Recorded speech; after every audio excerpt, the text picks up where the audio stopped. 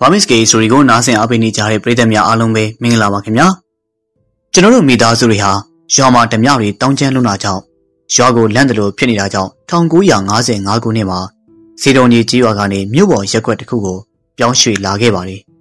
မြို့လို့ဆိုပေမဲ့တန်လီဟာအတန်လေးရုပ်ရှင်ရုံရှိလို့သာမြို့လို့ဆိုရပါတယ်အခုကျွန်တော်တို့ဖေဝယ်လိုက်တဲ့နေရာကတော့ပြောရရင်တောကြီးမြင့်မင်းနဲ့မချားလာပါဘူးအဲ့ဒီချန်ကြီးကိုအရင်တုန်းကချစ်တီကလာတတိတယောက်ကပိုင်ဆိုင်ပြီးတော့ အဲ့ဒီချန်ကိုဦးလေးတာညံကဝယ်ထားပြီးတော့အကိုလို့သူဦးတာဟန်ကျွန်တော်ရဲ့ဖေကိုပြန်ရောက်လာကြောင်း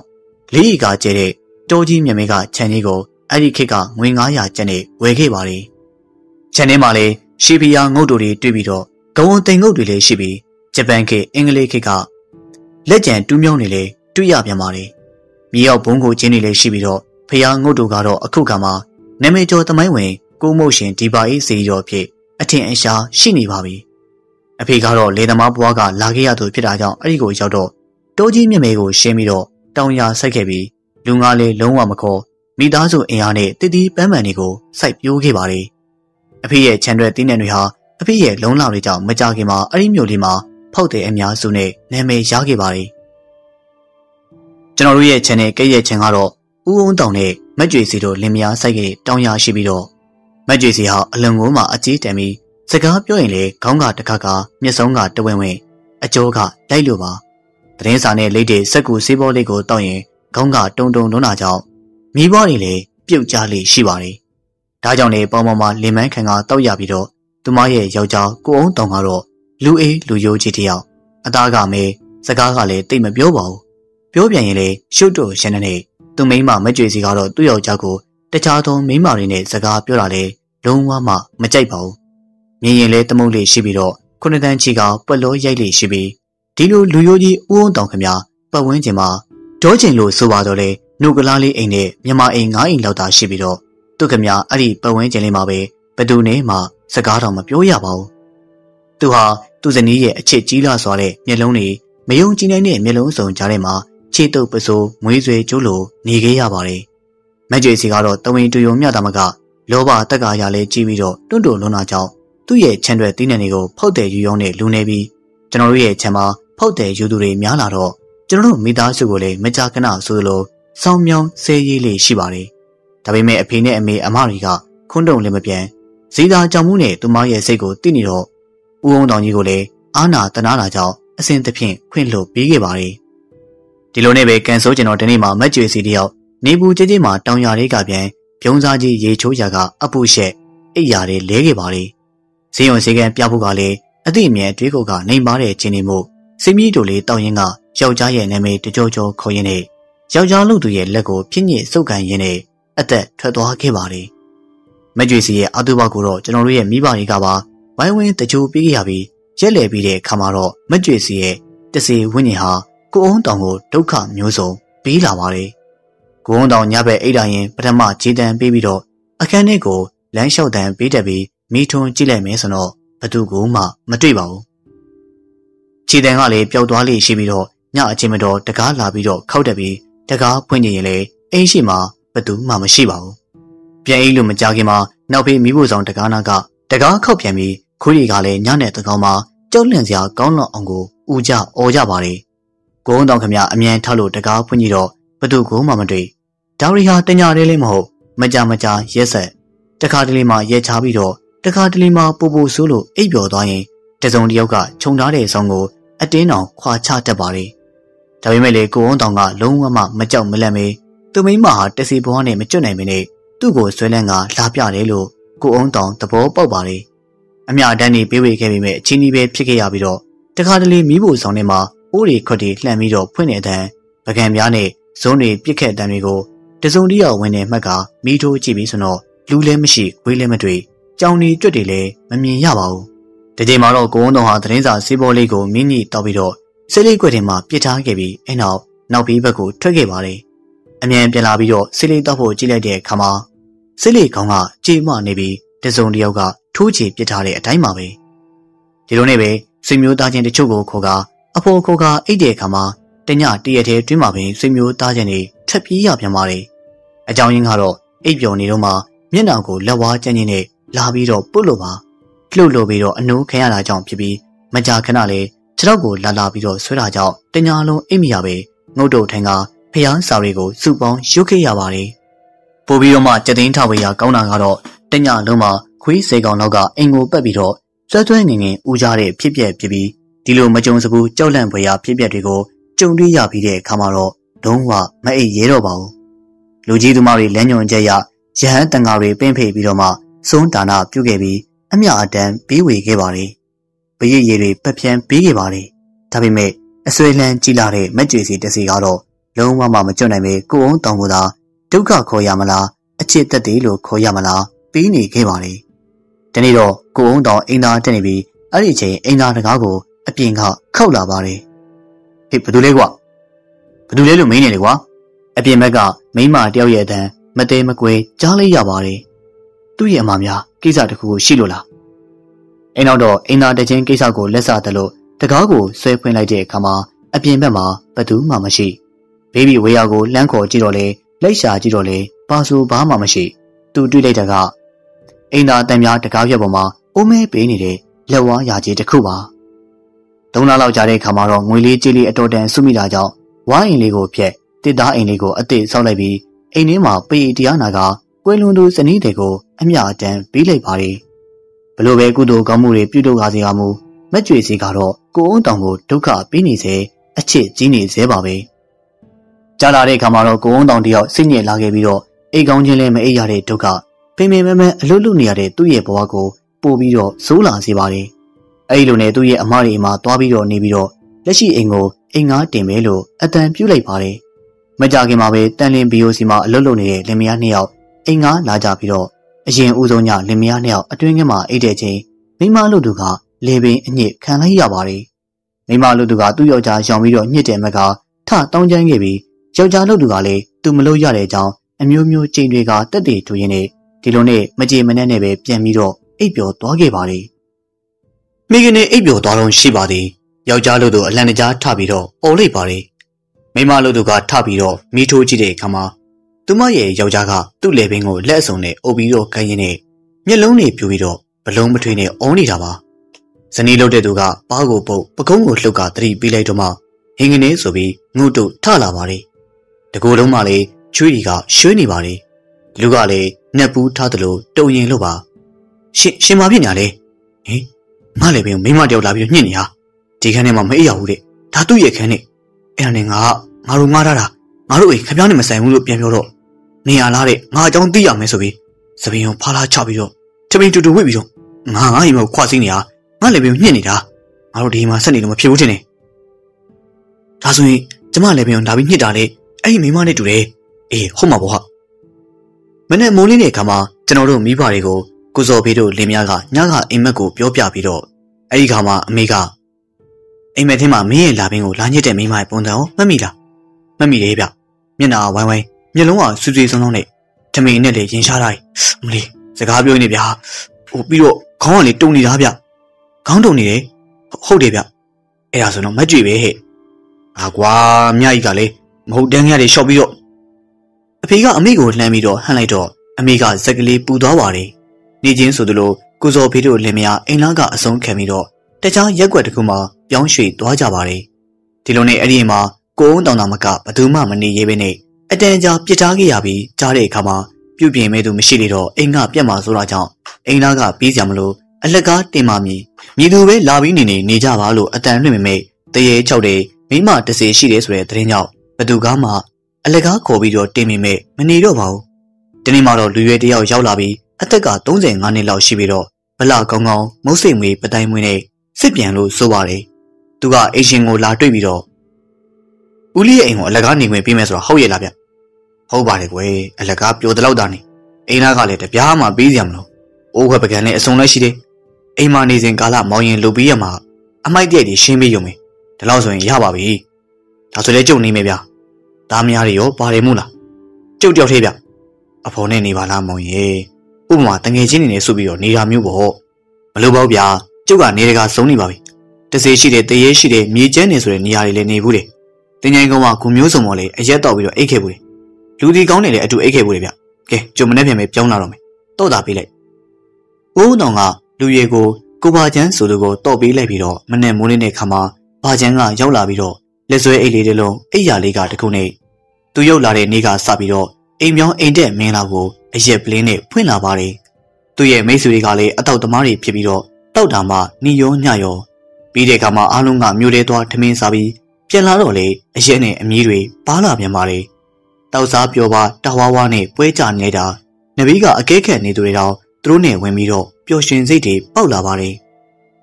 တရက်ဘာမှမထူကြနှစ်ရက်ဘာမှမထူကြကျွန်တော်တို့အိမ်နီးနားချင်းတွေနဲ့ကိုဝန်းတောင်တို့ဆွေမျိုးစုတွေလည်းကိုပါချမ်းချင်းတွေကိုငန့်လင့်နေခဲ့ပါတယ်ဘာမှမဖြစ်တော့ဝမ်းသာရပြီးတော့အဖေနဲ့ကိုပါချမ်းတို့လည်းမကြခင်မှာရင်းနှီးလို့လာခဲ့ပါတယ်ကိုပါချမ်းကအရက်ကိုနှိမ့်ချိတ်စွာတောက်တက်ပေမဲ့ဝေကားတော့မစိုး လူကတော့စာတက်ပေတဲ့သူပြောတဲ့သိပ္ပံပညာအကြောင်းတွေကကျွန်တော်တို့လူငယ်တွေဖို့တော့စိတ်ဝင်စားဖို့ကောင်းပါတယ်နိုင်ငံရေးအကြောင်းတွေအဖေနဲ့ပြောဆိုဆွေးနွေးတဲ့အခါမှာလည်းကျွန်တော်တို့တွေတော့နားမလည်ခဲ့ပါဘူးဒီလိုနဲ့နှစ်ပတ်လောက်နေပြီးတဲ့အခါမှာတနေ့ကိုပါချမ်းတယောက်အိမ်ကိုအစိုးကြီးမျက်နှာမကောင်းစွာနဲ့ရောက်လာပါတယ်ကျွန်တော်တို့မိသားစုကလည်းတောင်ရတဲ့မစင်းခင်ပဲပြုံးနဲ့ထမင်းနဲ့ဝိုင်းဖွဲ့စားနေတဲ့အချိန်ဟောမောင်မချမ်းလာဟိအမေနေဦးစားဖို့တဲ့ထမင်းမကန်တော့လုပ်ပါအောင်ဟိ နေပါစီဗျာကျွန်တော်မစားတော့ပြောကြရှိလို့ဗျဟေးဘာများတော့ကွာကျွန်တော်ဒီကနေပြောင်းလို့မယ်ဗျာဟာဆိုင်မစင်ပုံမစင်ကွာမြန်လာကြည်လားဘာလဲကွာအိမ်သေးရလို့လားမဟုတ်ဘူးဗျအဲ့ဒီကကျွန်တော်တည်ဘူးတဲ့အိမ်နေထဲမှာအတော့ကိုကျန်းတဲ့အိမ်ဗျဘလို့မှနေလို့မရဘူးဟေးမင်းကြောက်သွားပြီလားကွာကြောက်တော့လည်းမကြောက်ပါဘူးဗျာစိတ်ညစ်စရာကောင်းလို့ပါကဲမင်းစိတ်ညစ်ရတဲ့အကြောင်းဆိုလေစိုးစမ်းမအောင်ကိုပါကျန်ဟာရှည်လျားလာတဲ့သပင်တွေကိုလက်ငါးချောင်းနဲ့ထိုးပွားပြီးတဲ့နောက် အင်းကြီးရှိရာကိုကြည့်ပြီးတော့ပကုံးတစ်ချက်တွန့်ကမျက်နှာကိုမဲလိုက်ပါလေကိုပါကျန်အဲ့ဒီအိမ်ကိုရောက်ပြီးတော့နှစ်ရက်မြောက်တဲ့နေ့ထိမထူးချပဲဟိုရင်တုန်းကတရေချုပ်တဲ့တစီချုပ်တယ်လို့ကြားဖို့ပြီးတော့သူကဒါမျိုးတွေကိုယုံသူမဟုတ်တရေတစီချုပ်တဲ့အိမ်တွေကျောင်းတွေဇရက်တွေတိုက်အိုတွေမှာလှည့်လည်ပြီးတော့နေထိုင်ဘူးသူစစ်စစ်ဆက်ဆက်ကြည့်ပြီးတော့စုံစမ်းမယ်ဆိုတော့လန်နေတဲ့သူ့အမိုးကိုလေထိုးတာကြောင့်တိတ်ကိုင်းကအိမ်နေရန်ကိုရှမ်းမိတာကြောင့်တရိษံနေညီးတာကြောင့်ဒါကြောင့်နေများပြီးတော့တတိယမြောက်ညကိုရောက်တဲ့အခါမှာ မြို့ထဲမှာထမင်းစားပြီးတော့ရန်သုံးဘက်တောက်ရင်နဲ့အိမ်ကိုပြန်ခဲ့ပါလေတကားဖွင့်ပြီးတော့အထက်ကိုခြေချမယ်လုပ်တဲ့အခါမှာပထမဦးဆုံးကြားလိုက်ရတာကကြောက်ပြင်းတဲ့တနကားသွင်းနေတဲ့တန်းအတန်ကအတော့ကမှထင်ရှားပြီးတော့ဒီအိမ်ပေါ်မှာအင်ရှင်ဦးသောင်းရဲ့မိမကွယ်လွန်သွားပြီးတော့အလှပြင်ပစ္စည်းတချို့ရှိနေသေးတာသူသိပါတယ်ဒါပေမဲ့ကဲကရှင်ရဲ့အလွမ်းပြေပစ္စည်းတွေဖြစ်တာကြောင့်သူဟာမတို့မထိခဲ့ပဲတနခါတွေ့တဲ့ကပူပူပြီးတော့ကျင်းလာပါလေတနခါနဲ့ကလည်းအင်းရှိကိုရောက်လာပြီးတော့ ပူပူထူကြတာကအမျိုးသမီးတယောက်ရဲ့တချင်းတူတူလေးညီးတဲ့တန်း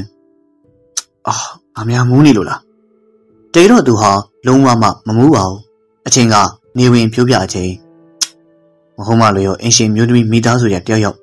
အိမ်မော်လာရှင်းနဲ့တန်ရှင်းမြလုပ်နေရလားဒီလိုနဲ့အိမ်မော်ကိုခရဲရဲတက်လာခဲ့ပြီးအတွင်းငင်းရဲ့လိုက်ကခန်းစည်းဆောက်ကိုဖယ်ကြည့်လိုက်တော့ဘသူကိုမှမတွေ့အတွင်းငင်းအနှက်လိုက်ရှာခဲ့ပြီးတော့မိဖို့ဆောင်အကျိုးချကိုလိုက်ပြီးတော့လေရှာပြီး လူနဲ့တူတာဆိုလို့ခြေရလေးတောင်မှမတွေ့ပါဘူးတကားလေးတစ်ချက်မှမပွင့်ဒါပေမဲ့တက်တေကန်ကြံနေတာကခက်ပြစ်ပြစ်သွေးပြီးသားရှင်မတောင်တနကားတချို့နဲ့ရေဆူနေတဲ့တနကားတုံးဒုတိယကြိမ်ကြုံလိုက်ရတဲ့ဖြစ်ပျက်ကပို့ပြီးတော့မှအံ့ဩစရာကောင်းပါလေတညအရက်တော့အိပ်ပျော်သွားခဲ့ပြီးသူတတိယအချိန်လန်နိုးလာပြီးတော့အဖြစ်ပျက်ကသူ့ရဲ့ကိုနာမှာအမျိုးသမီးတစ်ယောက်ရောက်နေပါလေထမင်းရင်ချားနဲ့ရုပ်ကလေးအတော့ကိုဆိုပြီးတော့အမျိုးသမီးကကိုပါချမ်းမျက်နှာကိုလက်ညှိုးနဲ့ထိုးက တက်ဟားဟားနဲ့အော်ရီနေပြီးစပင်းလေးကလည်းကျိုးနောက်မှာဟာရကြလို့မိမိကပြန်ပြီးတော့ထွက်သွားဖို့အော်ပြောလိုက်တဲ့အခါမှာရည်ရင်တက်လန့်ကမျက်လုံးတွေကိုအစွမ်းကုန်ပြူပြီးတော့လေပင်ကိုရုတ်တရက်လာညှစ်ခဲ့ပါတယ်။သူကလည်းရုန်းကန်ပြီးတော့ပြန်လေတုံ့ပြန်ခဲ့ပြီးအဲ့ဒီမိမဟာအလွန်ငုံမှတန်မာလွန်းလာပါတယ်။ဒီနေ့ကိုပါချန်အိယာခင်းပေါ်မှာသူတပြန်ကိုရပြန်လုံးနေကြတာအတန်ကြာလို့ကျွေးတွေတီးလာတော့အမျိုးသမီးကထမင်းရင်ချာပြေးသွားခဲ့ပြီးအဲ့နောက်တော့ နောက်ဘေးမိဖို့ကြောင့်ကိုထွက်ပြေးသွားခဲ့ပါတယ်။ခေါင်းရင်းတကားနဲ့လာရောင်နဲ့ဖြက်ကနေပြေးသွားတဲ့အပြင်နောက်ကိုလက်နေဓမီဖွင့်ကသူပြေးလိုက်သွားပြီးသူမကိုရှာလိုက်တော့တခြားဘယ်တကားမှလည်းမပွင့်ပြေးကြဆိုလို့ကျမ်းပေါက်လေးတော့မှမရှိပါဘူး။သူမဘယ်ကိုရောက်သွားပြီလဲ။မိမိရဲ့ကွန်မလေးချွေးတွေကရေချိုးထားသလိုရွှဲနေပြီးတော့နှစ်ယောက်သားနှပန်းလုံးထားတာကြောင့်ကရင်ပေါ်မှာစောင်းနေရောခေါင်းနေရောအိယာခင်းနေရောပြောင်းဆန်လို့နေပါတယ်။ ညောင်ဘိုင်းကတောက်ထားတဲ့အရက်တစ်ပိုင်းကလည်းအားကိုးလို့မရ။ကြံတဲ့အရက်ပလင်းကိုလှမ်းယူပြီးတော့ပလင်းလိုက်ပဲမော့လိုက်ပါတယ်။သူတွေကိုအေကိုဟောဝင်တော့စောစောကတော့နှလုံးခုန်တိုင်းကမလို့ရှာတော့ပဲဘာရဲမဟုတ်ငှက်ကြီးတော်ဓာတ်ကိုနေရန်ကဖြုတ်ပြီးအနားမှာချပြီးတော့အိတ်ကအချင်းကြီးကိုနားဆွင်နေတော့မိုးစင်စင်လင်းသွားခဲ့ပြီးအဲ့ဒီမိမကတော့ပြန်ရောက်မလာခဲ့ပါဘူးတတိယအချိန်ကြုံလိုက်ရတာကသူ့ရဲ့သူ့ရင်ခေါင်းတွေကလက်ပြလွန်မတဲ့တောင်ဖြစ်ခဲ့ရတဲ့မြင်ကွင်းတစ်ခု လူလေစိတ်ယောဂါကိုဈေးရုံကိုတွားရလောက်အောင်ဖြစ်ခဲ့ရပြီးတော့အချိန်ကညဘက်12နာရီကျော်ညဦးပိုင်းကဝက်သားနဲ့အရက်တောက်စားထတာကြောင့်လားမသိပိုက်ထဲမှာရစ်ပြီးတော့နားနေပြီးအိမ်သာထပြီးသွားတဲ့အခါမှာကြောက်လာတယ်မဟုတ်ပေမဲ့အခုတလို့ထူးဆန်းတဲ့ဖြစ်ပျက်တွေကြောင့်အပြင်ကိုတော့တိတ်ပြီးတော့မထွက်ချင်ပါဘူးဒါပေမဲ့လေဘိုက်ရဲ့အခြေအနေကအောင်ထားလို့မရတမီးကိုယူကအိမ်သာရှိရာကိုဇင်းလာခဲ့ပြီးရောက်တဲ့အခါမှာအိမ်သာကိုဆွဲပွင့်လိုက်တဲ့အခါမှာတော့လူတစ်ယောက်ကအိမ်သာထဲမှာငုတ်တုတ်ထိုင်နေပြီးစေးဘောလေးကြီးကို ရဲကနေရဲကနေနေအောင်ဖွာရှိုက်နေခဲ့ပါတယ်မိဘတွေကလည်းအဆက်မပြတ်ကြွေးကြနေပြီးတော့မိကူတွေကလည်းတကားဖွင့်လိုက်ခါမှသူ့စီကိုတန်းပြီးတော့ဝင်လာခဲ့ပါတယ်တော့ခက်ထားတဲ့အိမ်သားတွေဘလို့လုံပြဝင်ပါလိမ့်စဉ်းစားပေမဲ့မရပဲဒေါသထွက်ပြီးတော့အနောက်ကိုတလန်းဆိုကတမီးနဲ့မျက်နှာကိုထိုးပြီးတော့ကြည့်လိုက်ပါတယ်နေတကာဆုံခဲ့တဲ့တတိကောင်းကြီးဟာဒီတကားတော့လမ်းပြန်အော်မီသွားပြီးသူတွေ့လိုက်တာကသူ့လေးမင်းညကဂရင်ပေါ်မှာနှစ်ပန်းလုံးခဲ့တဲ့ထမင်းရင်ချားနဲ့မိမပါ စီဘောလေးကြီးကိုညာလဲနဲ့ထိမီဖွာရင်းနဲ့ဖားရချထားတဲ့သပင်တွေကိုကြံတဲ့လက်နဲ့တက်တင်လိုက်ပါတယ်အဲဒီနောက်မှာတော့စိုင်းမစင်ပါပဲနဲ့ချန်ပီယံကိုပြေးထွက်လာခဲ့ပြီးအိတ်ရှင်ကိုဦးတောင်းကိုအောင်လို့ပြီးတော့သူ့နဲ့တူတူချက်ချင်းလိုက်ခဲ့ဖို့ခေါ်ခဲ့ပါတယ်လမ်းတစ်လျှောက်လုံးမှာလေသူစိုးစိုးကကြုံရတဲ့ဖြစ်ပျက်တွေကိုပြောပြပြီးတော့အဲ့ဒီမိမကိုအိမ်သားထဲမှာတောက်ခတ်ထားတဲ့ကြောင်းဘာကြောင့်နှောက်ယှက်နေလဲဆိုတာမေးမြန်းပြီးတော့တက်ဆိုင်ရာကိုပို့ရမယ်လို့သူဟာ အိမ်ရှင်ကိုပြောတဲ့အခါမှာအိမ်ရှင်ကိုအောင်တောင်းကလည်းအင်းမလို့အင်းမလို့နဲ့ညီပြီးတော့ပါလာခဲ့ပါတယ်အင်ဂျီရောက်တဲ့အခါမှာတော့ကိုပါချန်းကအိမ်တော့ကိုဖွင့်ခမ်းပြီးမိထိုးပြလိုက်ပြီးတော့တော့ကပွင့်သွားခဲ့ပြီးတော့သူ့ရဲ့ရင်တွေခုန်လာခဲ့ပါတယ်။အင်ရှင်မြင်တော့အံ့ဩသွားမှသိကြတယ်လို့အင်ဂျင်ဟာတကောက်ကိုဆွဲဖွင့်လိုက်တဲ့အခါမှာတော့ဘယ်မလဲကွာမင်းတွေးခဲ့တယ်မင်းမ။ဟာအထင်မှာကျုပ်တုတ်ခတ်ပြီးတော့ပိတ်ခဲ့တာ။ဘယ်ရောက်သွားပြီလဲမသိပါဘူးဗျာ။အရေးပေါ်ပေါက်ကများဖောက်ပြီးတော့ထက်သွားလိမ့်လားရှာကြည့်စမ်းမအောင်ဗျ။ သူအိမ်သားကိုတေချာစစ်ဆေးလိုက်ပြီးအိမ်သားကလူမပြောနဲ့ကြောင်တကောင်ကိုထည့်ပြီးတော့တုတ်ခတ်ထိုင်းတော့ကြောင်တော်မှမထွက်နိုင်အောင်လုံခြုံတဲ့အိမ်သားသူ့မျက်နှာကိုအင်ရှင်ကကြည့်ပြီးတော့စိတ်ညစ်ညစ်ထားဖို့ပြောလာပြီးမျက်စိအောက်မှာထူးဆန်းတဲ့ဖြစ်ပျက်တွေကိုတွေးရင်းနဲ့ခြေတွေလက်တွေတောင်တုန်လာခဲ့ပါတယ်။ကြက်သေးမွင်းကြီးတွေလည်းထလာခဲ့ပြီးတော့อืมမင်းအရက်ကြောင်ပြီးတော့ဖြစ်ချင်ရဖြစ်တာနေမှာပါကွာ။ဈေးရုံနေပါလေလေပြကြုံ။အာမဟုတ်ဘူးဗျကြုံအောင်တော့ကောင်းပါလေ။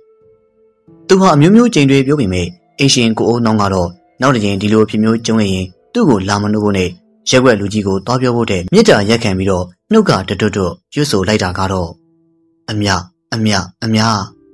လူဒီကောင်နဲ့အတူအိတ်ခဲ့ပါတယ်လို့ဆိုတဲ့ကိုပါချန်းတယောက်ဒီလောက်ထူးဆန်းပြီးတော့ခြောက်ချားဖွယ်ရာဖြစ်ဖြစ်နဲ့ကျုံတဲ့နောက်ပိုင်းမှာအိမ်ကနေပြောင်းရွှေ့သွားခဲ့ပါတယ်။နောက်တလားလောက်ကြာတော့ကျွန်တော်တို့မိသားစုတင်ငန်းဝင်းနဲ့တွေ့မြင်ခဲ့ရပြီ။လောကမှာထူးဆန်းတဲ့အဖြစ်ပြက်စံတွေ အမြောက်များရှိတယ်ဆိုတာဘိုးတော်ကဦးစင်မယုံခဲ့ဘူးတကားကြီးရဲ့။တချို့သောအကြောင်းအရာတွေကသိပ္ပံပညာနဲ့လိုက်လို့မမီနိုင်ဘူး။အဲ့ဒါကိုဂမ်ဘီယာလို့ပဲခေါ်ကြမလား။လျှို့ဝဲစံကြီးလောကီဖြစ်ရဲလို့ပဲခေါ်ကြမလား။ဘယ်လိုခေါ်ရမှန်းတော့မသိတော့ပါဘူး။ဗုဒ္ဓရဲ့စာပေကျမ်းဂန်ဟောချက်တွေကိုလေ့လာကြည့်တော့မှပဲ။ဉာဏ်လောကရဲ့အသက်ထွက်ကနေစုတည်တဲ့စိတ်ကြောင့်ဖြစ်လာတဲ့တန်ရောစဉ်စိတ်တွေရဲ့တက်ရောက်အားတွေကုသိုလ်စိတ်အကုသိုလ်စိတ်အားတွေဆိုတာသိလာခဲ့ရတယ်။ ကျုပ်တုတ်တံမှာမြေတာကမ္မထမ်းထိုင်တော့မမြင်အပ်တဲ့ပုံကိုယ်တွေနဲ့ဘဝအသစ်ဖြစ်နေတဲ့တမလွန်သားတွေကိုမြင်ခဲ့ရတယ်။မြစ်တာပို့ပြီးတော့အမျှဝေခဲ့ပါတယ်။อืมဘုရားရှင်ကိုတော်မြတ်ကြီးဟောခဲ့တယ်လို့မကျွတ်လို့သေးတဲ့သူတွေရဲ့ဝိပါကဝေကျွေးတွေဟာတန်တရားရှည်အောင်မှာပါပဲလေ။ကဲကဲကဲဦးစင်လဲခရီးဆက်ကြလေးရှိသေးတယ်ကွယ်။ဦးစင်တစ်ဖြစ်လဲကိုပါချင်းတယောက်ရင်းကျက်တင်းငိမ့်နဲ့ခြေလန်းနေနဲ့အဝေးကိုကြွားသွားတာကြည့်ပြီးတော့အဖေဟာကောင်းတင်းငိမ့်ငိမ့်လုံနေပါလေ။ မကြွေစီတယောက်ကတော့ကျွတ်ချင်းတန်တော့ထူးဆန်းစွာနဲ့ကျွတ်သွားခဲ့တာလားအံ့ဩဖို့လေကောင်းတနာဖို့လေကောင်းပါလေကိုုံတောင်ရဲ့အမတွေကသူ့ရဲ့မောင်ကိုမုတ်ဆိုးဘွားနဲ့ဒုက္ခရောက်မှာကိုမကြည့်ရတာကြောင့်အညာသူအမျိုးသမီးတယောက်နဲ့အိမ်တောင်ချပေးပြီးသူတို့ရဲ့မင်္ဂလာဦးမှာပဲတိုက်တိုက်ဆန်းဆန်းကိုုံတောင်ရဲ့အိမ်ဟောင်းစီကထူးထူးဆန်းဆန်းမိမတယောက်ရဲ့ဝမ်ပန်တနဲ့ငိုရှိတ်တန်းကိုအိမ်ကြီးချင်းတွေကြားလို့ရပါတယ်မကြခင်မှာအိမ်လေးကနေအိုးခွက်ပကံတွေကိုရှိတ်ခွဲတဲ့တန်းကိုလည်းကြားလို့ရပါတယ် ဒါပေမဲ့ဘသူကားမှသွားပြီးတော့မကြည့်ရခဲ့ပါဘူးအလွန်ကမှတက်တီကောင်းလာတဲ့ခရိယန်ဘာသာဝင်ဗဒဂီဆိုတဲ့ကလာကြီးကတော့အိယာပေါ်မှာမင်းနေတဲ့အချိန်ဒူးဆန်းတဲ့အတန်တွေကြားလာကြောင်းအိမ်စီကြည့်လိုက်တဲ့အခါမှာတကောင်ရန်လောက်ရှိပြီးတော့ရှက်ကြီးတငယ်ငိုးနေတဲ့ထမင်းရင်ရှားသပင်ဘိုးရိုဘာယာနဲ့မိမတယောက်က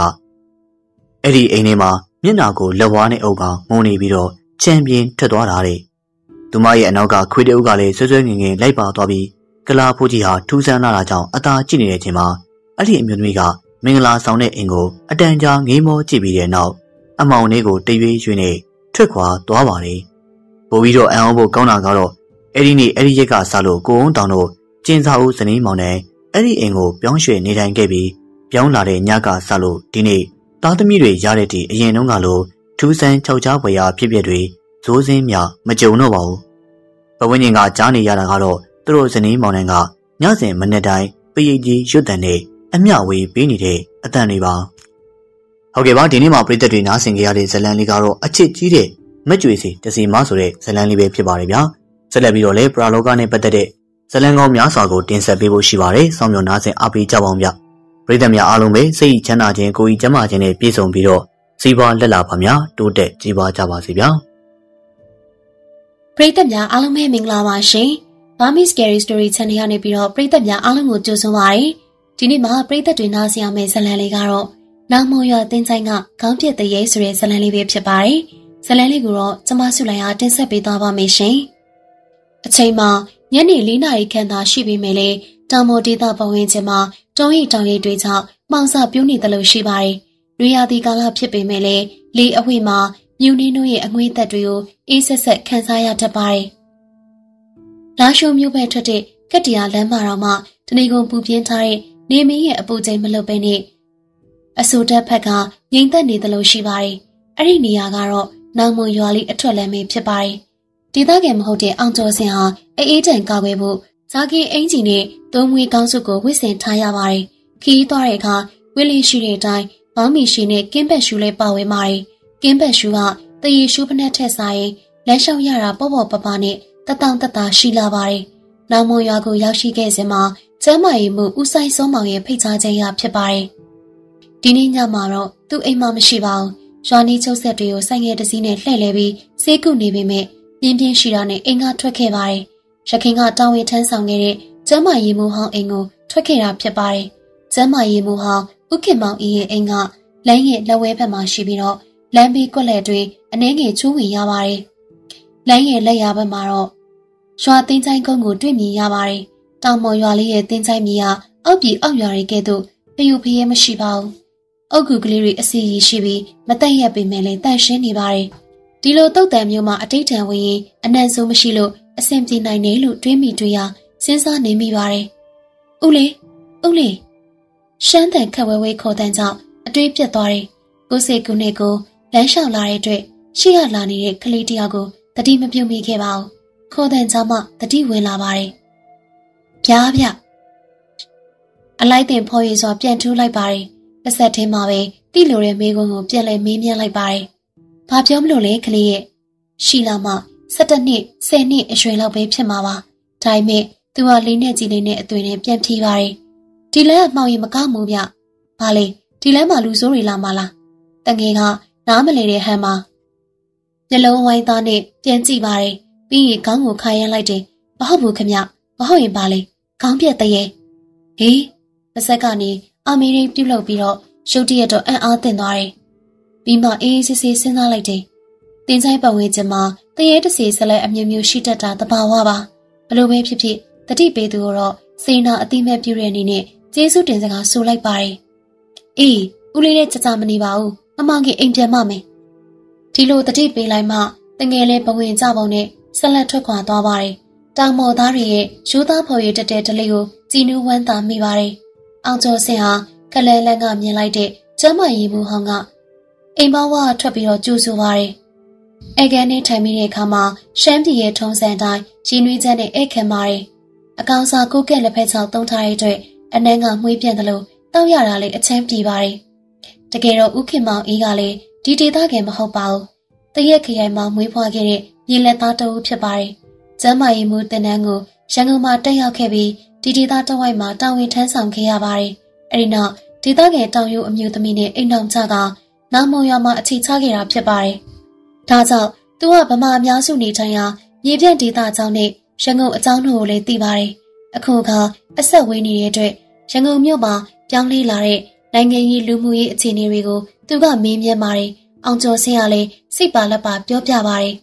တဖန်ဥခင်မောင်ကြီးကလည်းသူနေထိုင်ရာရက်ရွာကြောင်းစိတ်ဝင်စားစရာကောင်းပြောပြပါတယ်သူပြောသမျှတွေမှာတိုင်းရင်းသားတွေရဲ့ဒလေးစရိုက်တွေဒေသနာဘဝတုတတွေနဲ့လက်နက်ကင်အဖွဲ့အစည်းတွေအကြောင်းမှမကြမ်းစုံလင်လှပါတယ်ဒါကြောင့်အချိန်ကုန်မှန်းမသိကုန်သွားပါတယ်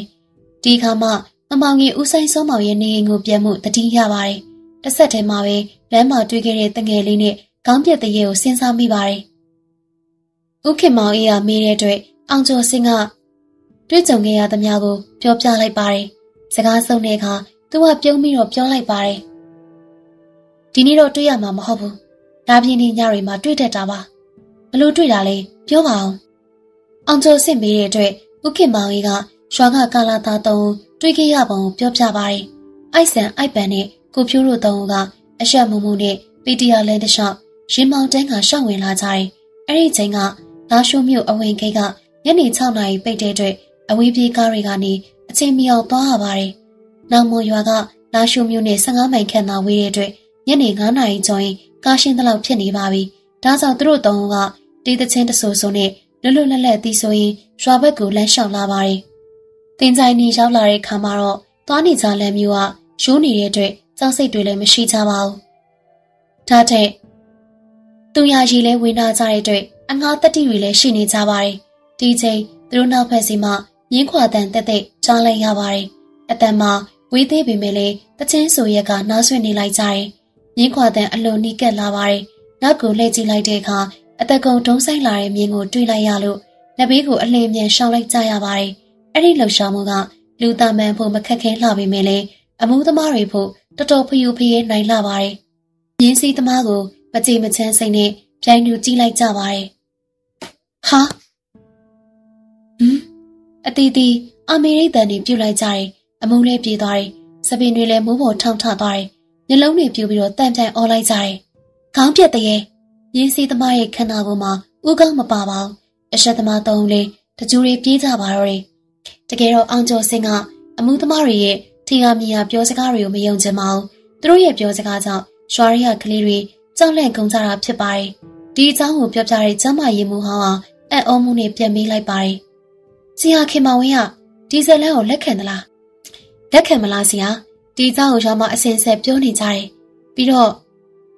ကျွန်တော်ရဲ့အဘေးနဲ့ဆက်ဆက်နေတယ်။အဘေးဆိုတာအဖိုးရဲ့ဖခင်ကိုဆိုလိုခြင်းဖြစ်ပါတယ်။မိသားစုရာဇဝင်ဆိုလို့သိကျင်သွားပါတယ်။ဆရာရဲ့ဘေးကဘာတူလဲ။ဘာတူလဲလို့မပြောခင်အဲ့ဒီဆောင်သားကိုကြည့်လိုက်။ပြောပြောဆိုဆိုသူကနေရမှာချိတ်ဆွဲထားတဲ့တရှိကိုညွှန်ပြလိုက်တယ်။ဒီအခါမှ မလဲမကဲမှာချိတ်ဆွဲထားတဲ့တရှိကိုတတိပြုမိတယ်။အောင်ကျော်စင်ဖို့ရာဇဝင်လို့ဆိုဆိုသမိုင်းလူခေါ်ခေါ်ဒီဘာသာရက်ကိုကျွမ်းကျင်သူမဟုတ်ပါဘူး။ဒါပေမဲ့အဲ့ဒီတရှိမှာရှင်းအောင်လက်ရာတစ်ခုခုဖြစ်ကြောင်းတတိပြုမိပါတယ်။အဲ့ဒီတောင်ဆရာဘယ်လိုမြင်လဲ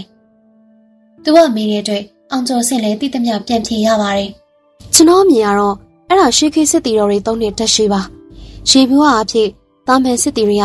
ဓာတ်လုကန်ရတယ်။အတိတ်ပဲကတော့တိတ်အိမ်မသုံးပဲ ဓာတ်ကိုပခုံးမှထမ်းပြီးတော့လိုက်ကြရတယ်။အရာရှိတွေပဲတိတ်အိမ်ကိုသုံးကြရတယ်။တိတ်အိမ်ပေါ်မှာရှိတဲ့မှန်ကူကွက်တွေကလည်းရှာရူးလိုက်အဆောင်ရောက်နေပဲ။ဘယ်ဟာရှာရူးလဲဆိုတော့ကျွန်တော်တိတိကျကျမသိပါဘူးဗျ။ဥခင်မောင်ကြီးမျက်လုံးပစ်မာတယ်။ဆရာကတော်တော်လေးလာထားတာပဲ။စေးသိပ်ပံသမားတယောက်အနေနဲ့ဒီလောက်နဲ့နဲ့ဆက်ဆက်ရှိတာချီကျူးစရာပဲ။တိတ်လည်းမမြောက်နဲ့လေ။ကျွန်တော်ကမြောက်တတ်တယ်ဗျ။မြောက်တာမဟုတ်ပါဘူး။ကျွန်တော်ဖို့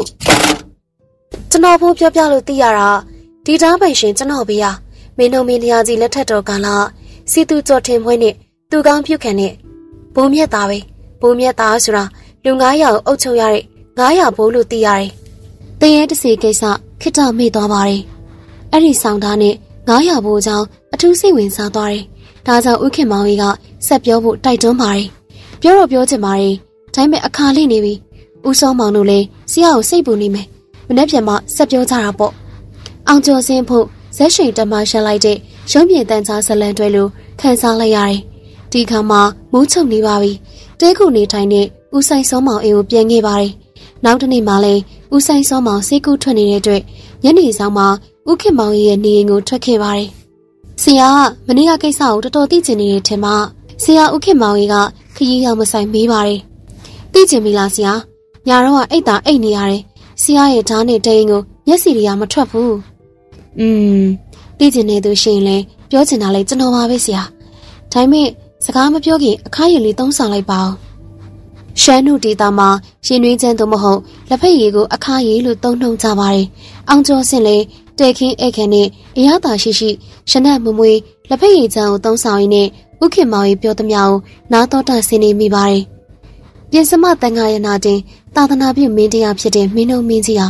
တိုင်းပြည်ကိုခင်မင်းနိုင်ငံဖြစ်အောင် အမျိုးမျိုးကြိုးပမ်းခဲ့ပါတယ်။ဒီငါဆက်ယုံလက်နဲ့ဆက်ယုံနဲ့ဂျင်းနဲ့စနစ်တွေလည်းထင်ရှားတဲ့အောင်မြင်မှုတွေဖြစ်ပါတယ်။ဘာသာတသနာထုံးကားတာကလည်းပြောစရာမရှိပါဘူး။ဒီခါမှာပြည်သူတွေကကြီးလန့်စာစာဖြစ်နေပါတယ်။အချောင်းကတော့ကလပ်ဖြူအင်္ဂလိပ်တွေရဲ့ရှမ်းပဲဖြစ်ပါတယ်။ဒုတိယအင်္ဂလိပ်မြန်မာစစ်ပွဲပြီးမှပြည်မျိုးတီအောက်ပြည်အောက်ရောင်မြန်မာတို့လက်လွတ်ခဲ့ရပါတယ်။အချိန်မရွေးလဲနောက်ထပ်စစ်ပွဲဖြစ်နိုင်တဲ့အခြေအနေရှိပါတယ်။ မြန်မာဘက်မှာတစ္ဆာပေါက်တချို့လဲကလပ်ဖြူထံကိုခုံဝင်မှုကြံနေကြပါတယ်။ဒီအချိန်မှာမင်းတို့မင်းတရားကြီးဟာလဲမင်းနေပြည်တော်ကိုအင်အားတောက်တင်းစေဖို့ရဲနာဘုံမင်းနေပြည်တော်ကိုမြို့နယ်တိစောက်နေပါတယ်။1922ခုနှစ်မှာအမရပူရာနေပြည်တော်မှာမန္တလေးကိုရွှေ့ပြောင်းခြင်းကိုတချို့ရာဇဝင်ဆရာတွေကပြစ်တင်ပြောဆိုကြပါတယ်။အောက်ပြည်အောက်ရွာဒေသတွေကိုအင်္ဂလိပ်တွေစီကနေပြန်ပြီးတော့တိုက်ယူဖို့စိတ်မကူပဲနဲ့မင်းစည်းစေခံစားဖို့မြို့တော်ကိုပြောင်းရွှေ့တယ်လို့ ဝေဖန်ကြပါတယ်။တကယ်တော့မူလအမရပူရာနေပြည်တော်မှာအတိတ်နမိတ်ကောင်းလာပါတယ်။အမရဆိုဒီမှာမသေးသောသူမဟုတ်မပြည့်စည်နိုင်တဲ့အတိတ်ပဲရပါတယ်။ပူရဆိုတာကတိုင်းပြည်လို့အနက်ပေးနိုင်ပါတယ်။ခြုံပြီးတော့ဆိုရင်မပြည့်စည်နိုင်တဲ့မြို့တော်လို့ဆိုလိုပါတယ်။တောင်တမန်အင်းရီပြင်မြို့တော်ကိုတဘာဝကျုံးရီဝိုင်းထားတယ်လို့ဖြစ်ပြီးတော့ရန်သူတွေမဖြစ်စည်းနိုင်အောင်စီမံထားပါတယ်။ဒီအခါမှာလက်ရှိရင်ဆိုင်နေရတဲ့ရန်သူမှာအင်္ဂလိပ်တွေဖြစ်ပါတယ်။အဲ့ဒီလူမျိုးတွေရဲ့ ရှေးချောင်းကျွမ်းကျင်မှုမှာကဘာကျော်နေပါတယ်။ဒါကြောင့်ရှေးပတ်လည်ဝိုင်းနေတဲ့နေရာမှာမနေကုန်းခေါင်ခေါင်တို့နေပြည်တော်ရွှေ့ရခြင်းဖြစ်ပါတယ်။ကုန်းခေါင်ခေါင်တို့နေပြည်တော်ရွှေ့ရခြင်းဖြစ်ပါတယ်။ဒီလိုအကြောင်းကိစ္စတွေကြောင့်တချို့အရက်ဒေတာတွေမှာတောမိလောင်တောကြောင်လက်ခမောင်းခက်ဆိုသလိုတခိုးနှမြတွေလည်းထကြွတောင်းကျမ်းလေးရရှိပါတယ်။၎င်းတို့ထဲမှာယခုပသိမ်ကြီးမြို့နယ်လို့ခေါ်တဲ့တောတောင်ထူထပ်တဲ့အရံမှာထကြွတောင်းကျမ်းနေတဲ့ တောင်မန်နီခေါ်ဓမြကိုင်းကအစိုးဝါဆုံးဖြစ်လောက်ပါတယ်။နေပြီးတော့အနီးတစ်ဝိုက်မှာအဲ့ဒီလိုမဖြစ်သင့်ပါဘူး။အရင်စစ်တီတွေတွားရောက်နှိမ့်နေတဲ့ခါမှာရှမ်းတို့ဌာနေတီဘောမြို့တစ်ဝိုက်ကိုပြောင်းရွှေ့သွားကြပါတယ်။ဒီအခါတီဘောနေသူနေသားတွေလည်းဒုက္ခတွေ့ကြရပါတယ်။ဒါအပြင်သူတို့ကိုတီဘောစော်ဝါကတော့မှခုံလုံခွင့်ပြုထားတဲ့အောင်အောင်တည်င်းလွှင့်ပါတယ်။ တီဘောစော်ဝါကလည်းရှမ်းမြမှာသွေးစည်းညင်ညူရေးထိခိုက်မဲ့ပြီးမျှော်တွေးမိတဲ့အတွက်မင်းတို့မင်းတရားကြီးထံကိုအချင်းရာကိစ္စတွေကိုစာလွှာပါပြီးတော့အကြောင်းကြားရပါတယ်။အဲ့ဒီအကြောင်းအဲ့ဒီအကြောင်းမင်းတို့မင်းကြီးတည်တော့ဘလို့အရေးယူလဲ။မင်းတို့မင်းတရားကြီးက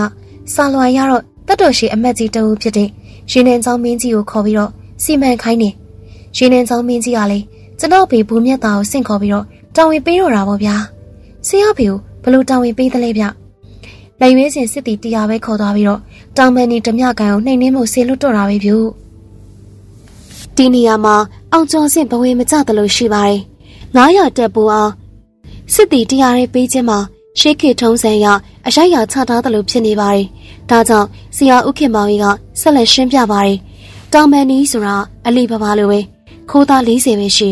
တကယ်ရင်ဆိုင်မယ်ဆိုရင်လက်ရွေးစင်တရားတော့မလိုပါဘူး။လူဖြတ်ပြီးတော့ဓမြကိုင်းလှုပ်ရှားမှု စုံစမ်းထောက်လှမ်းမှုပို့ထည့်ပေးထားတာပါ။လူ900ပြီးရင်လေနေပြည်တော်မှာအင်အားလျော့သွားနိုင်တယ်လို့တချို့ကပြောဘူးတယ်။အရေးတကြီးကိစ္စမှုလူတရားနဲ့သွားရတာပဲ။အဲ့ဒီခေတ်တုန်းက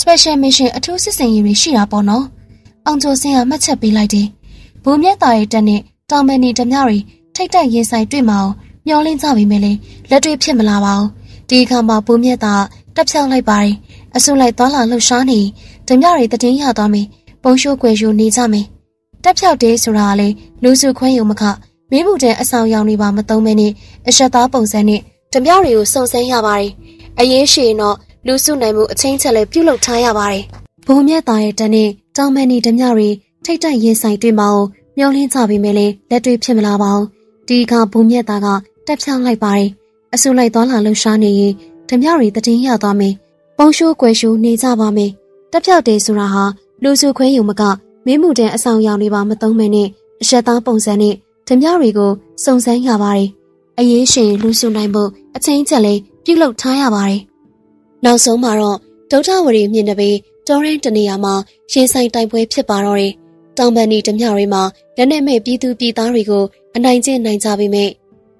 ဓာရီလည်းရင်နဲ့မိဘတနက်အတက်ပညာစနစ်တကျရှိလာတဲ့ဘူမြတ်သားတက်ကိုတော့မရှင်နိုင်တော့ပါဘူး။ တေးသူတေးတရားရသူနဲ့ကျက်လူတွေကတော့လက်လွတ်ထွက်ပြေးကြပါတယ်။တာမယ်အားဖြင့်ဆိုရင်ဒီရေးဒီလောက်နဲ့ပြီးစီးပါပြီ။ဒီခါမှာအထောက်တော်ရီသတင်းစကားရ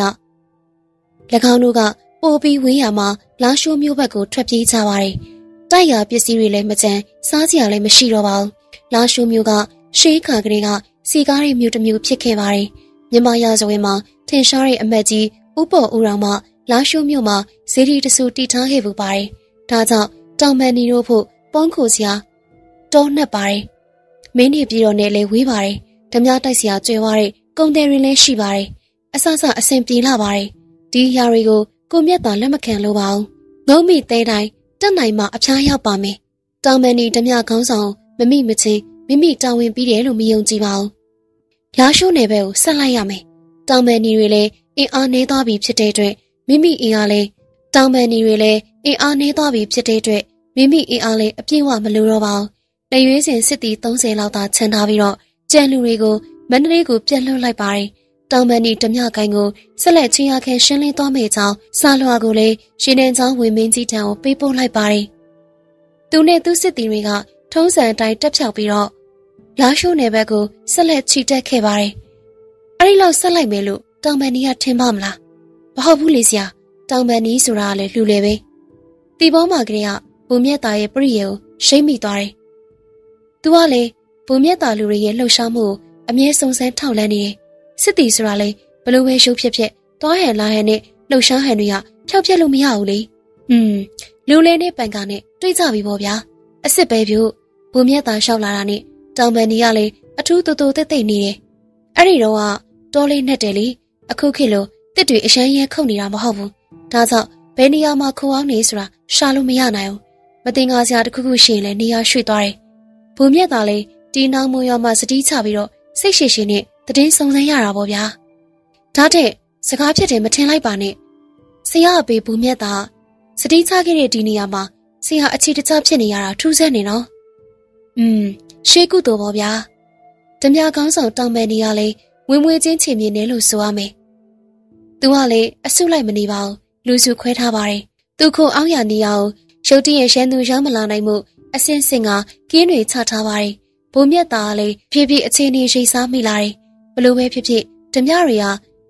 ဓမြတို့မြည်သည်အစာငဲ့ရင်တာရဲတွင်တွေကထွက်လာရပါမယ်။သူတို့ခုအောင်းနေတဲ့နေရာကိုမရှာဘဲလှုပ်ရှားမှုကိုသာပြောင်းလဲထောက်လဲရပါမယ်။တနေ့ဘုံမြက်သားမျောလင့်တယ်လို့ဖြစ်လာပါတယ်။တောင်ပန်ဒီအဖွဲကနောက်မိုးရွာကိုညအချိန်ဝင်ရောက်စီးနေမှုကြံစီထားပါတယ်။ နောက်မိုးရွာမှာဘုံမြက်သားတအုပ်ရဲရှိကြောင်းတည်င်းရထားပါတယ်။အဆောင်ရောက်မပါတဲ့ဘုံမြက်သားကိုမင်းမှုတန်းဖြစ်ကြောင်းရိုးသားတဲ့တိုင်းရင်းသားတွေကမသိကြပါဘူး။ရှစ်ဆက်ကလည်းတဲ့တောင်ပန်ဒီကတော့သိပါတယ်။သူတို့ဓမြအဖွဲ့ကိုဒုက္ခပေးခဲ့တဲ့ဘုံမြက်သားကိုကောင်းကောင်းဆုံးမလိုက်တယ်။ပြီးရင်တော့နောက်မိုးရွာတရွာလုံးကျွေဝါမှုကိုလေသိမ်းယူသွားမယ်လို့ကြုံဝါထားလိုက်တယ်။ဒီနေရာမှာဓမြအဖွဲ့မှာအားနည်းချက်ရှိပါတယ်။ရွာကလက်ထောက်ချသူသို့မဟုတ် သတင်းပေးသူရှိမှအဆင်ပြေပါမယ်။သူမှသာရွာရဲ့လုံခြုံရေးအခြေအနေချမ်းသာကြွယ်ဝတဲ့အိမ်တွေနဲ့တောင်ရသမားတွေရဲ့တီးနယ်ရောက်ရငွေတွေလက်ဝယ်ရှိမရှိသိထားဖို့လိုအပ်လာပါတယ်။ဒါကြောင့်အဲ့ဒီရွာကလူမိုက်တဦးကိုစီယုံသိမ့်သွင်းရပါတယ်။တောင်မန်နီတို့တွေ့ဆုံစီယုံလူမှာအရှက်သမားဖြစ်ပေမဲ့လေတခြားမကောင်းမှုတွေကင်းသူဖြစ်ပါတယ်။ဒါတဲ့ဘုံမြတ်သာလေ့ကျင့်သင်ကြားပေးထားတဲ့အထောက်တော်လေးဖြစ်နေပါတယ်။ သူကတပံလာရောက်စုံစမ်းသူတွေကိုဒေသတွေဆန်ရက်တွေနဲ့ဧကန်ကသူတို့ရဲ့အကြံစီတွေကိုပြန်ပေးပါတယ်။အရှံမူးရင်ကျွဲခိုးပေါ်ဆိုသလိုသူတို့ရဲ့အခြေအနေတွေကောင်းကောင်းသိလိုက်ရတယ်။သူ့ဘက်ကလည်းရွာရဲ့လုံခြုံရေးမကောင်းကြောင်းဘုံမြတ်သားတော်မှငှက်ဖျားဖြစ်နေကြောင်းနဲ့အဝင်လန်းအထွက်လန်းတွေကိုလည်းသူစိတ်ကြိုက်အကြံပေးလိုက်ပါတော့တယ်။ဒီလိုနဲ့အထောက်တော်အခပေးလိုက်တဲ့ညကာလာရောက်လာတယ်။ရွာပြင်တင်းချိုက်မြေအနီးမှာဘုံမြတ်သားတော်လူစုကင်းမုံဝစ်ပြီးတော့စောင့်နေပါတယ်။ လမ်းရဲ့တစ်ဖက်တစ်ချက်ရှိတောင်ကုန်းပေါ်မှာတနက်ကင်အမှုတန်းနှုတ်ကိုတစ်ဖက်တစ်ယောက်စောင့်ကြည့်စေပါတယ်။ခေါင်းဆောင်ဖြစ်တယ်လို့သိကြသူကသာပြစ်ဖို့မှားကြပါတယ်။စောင့်စားနေရတာပုံမှန်အဖြစ်ပြင်းစရာကောင်းလာပါတယ်။စစ်တီတွေမှလည်းမပြင်းအားပါဘူး။ရက်ရှည်လာများထမ်းဆောင်ရတဲ့တာဝန်မှာပြီးဆုံးမှာတော့မယ်။တောင်မန်နီဓမြကိုင်းကိုအပိသက်ဖြိုခွင်းရတော့မယ်ဆိုတဲ့အသည့်နဲ့အနေငယ်စိတ်လှုပ်ရှားနေကြပါတယ်။ဒါပေမဲ့စနစ်တကျလေ့ကျင့်ထားသူတွေပြီးပြီးအတန်လုံးဝမထွက်ပဲ တည်တည်ဝဝရှိလာပါတယ်။ဘူးမြတ်သာပြုံးလိုက်တာတာရဲရရထွက်လာတဲ့တာရဲကြီးကငကားကရင်းကိုရှောက်တော့မယ်လို့တွေးမိပါတယ်။ဒီအချိန်မှာခက်ဝေးဝေးကမြင်းခွာတန်တက်တဲ့ကိုကြားလိုက်ရပါတယ်။တောင်မန်နီကလည်းမခေပါဘူး။မြင်းတွေကိုဖြည်းဖြည်းမှန်မှန်စီးလာတယ်။တိတ်ဆိတ်တဲ့ညကာလမှာဒုံဆိုင်စီးမယ်ဆိုရင်ဝေးဝေးကနေအတန်ကြားရမယ်။ရွာသူရွာသားတွေလည်းနိုးကုန်လိမ့်မယ်။အနီးရောက်မှဒုံဆိုင်စီးဖို့အတွက်ခွန်အားကိုချွေတာရမယ်။ခက်နေတာကတောင်မန်နီဆိုတဲ့တမကောင်းဆောင် ဘိုးမြတ်တာမမြင်ဘူးပါဘူး။ရှန်သူရဲ့လှုပ်ရှားမှုကိုကြည့်ပြီးခေါင်းဆောင်ဖြစ်သူကိုရွေးထုတ်ရမယ်။လာပင်ကဖြစ်ပေမဲ့လေတောင်မော်ဒေသတဘာဝနှင်းမြူတွေဝင်နေတဲ့အတွက်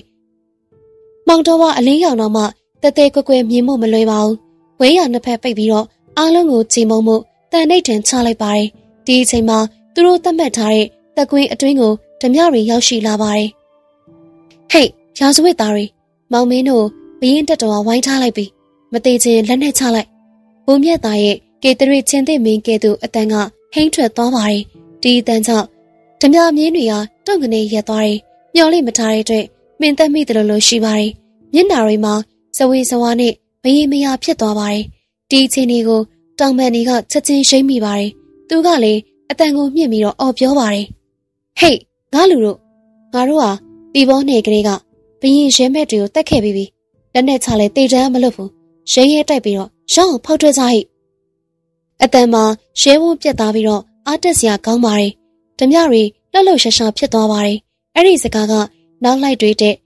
နောက်လိုက်တွေအတွက်ရဲစည်းဖြစ်သွားပါတယ်။ဒါပေမဲ့ဘုံမြက်သားလေးကျိန်းနဲ့သွားပါတယ်။ခေါင်းဆောင်ဆိုသူကိုတိတိကျကျမှတ်သားထားလိုက်ရတယ်။ဒါကြောင့်သူ့ရဲ့ရဲမက်တွေကိုစောင့်တောင်းကိုမြောက်ပြီးတော့အချက်ပေးလိုက်တယ်။ဓမြတွေမှာဝဲရနှစ်ဖက်မှလန်ရွှေကင်ထားတဲ့ခြေချင်းတက်သားတွေကို ညာသံပေးပြီးတော့ဝင်တိုက်ကြတယ်။ဓမြတွေလည်းနှစ်ဖက်ညက်အတိုက်ခင်ရတဲ့အတွက်ဘဲလဲညာလဲခုခံရတဲ့အတွက်မြင်းပေါ်မှာထိုင်နေပြီးတော့အသာစီးမရပါဘူး။အဲ့ဒီရှုပ်ထွေးနေတဲ့အခြေအနေမှာဘုံမြက်သားပါဝင်မြင်းစီသမားငါးဦးကဓားတွေဝင်ပြီးတော့ဝင်းရောက်ထိုးခုတ်ပါတော့တယ်။တိုက်ပွဲမှာပြင်းထန်ဆူညံသွားပါတယ်။တရက်တစ်ပြက်ဝင်းရောက်တိုက်ခိုက်မှုတွေကြောင့်ဓမြတွေအခက်တွေကသွေးပြက်နေပါတော့တယ်။တလောက်ရှုပ်ထွေးတဲ့တိုက်ပွဲမှာတောင်ပန်နီရဲ့သွေးအေးပုံမှာချီးမွမ်းလောက်ပါတယ်။ ဝိုင်းဝန်းထားတဲ့ရဲမက်တွေကြားမှာလစ်ဟာသွားတဲ့ထွက်ပေါက်တစ်ခုကိုတွေးလိုက်တယ်။နောက်လိုက်နောက်ပါတွေကိုငဲ့ညာစရာလည်းမလိုပါဘူး။ဓမြပီပီတကူကောင်းဆန်စွာနဲ့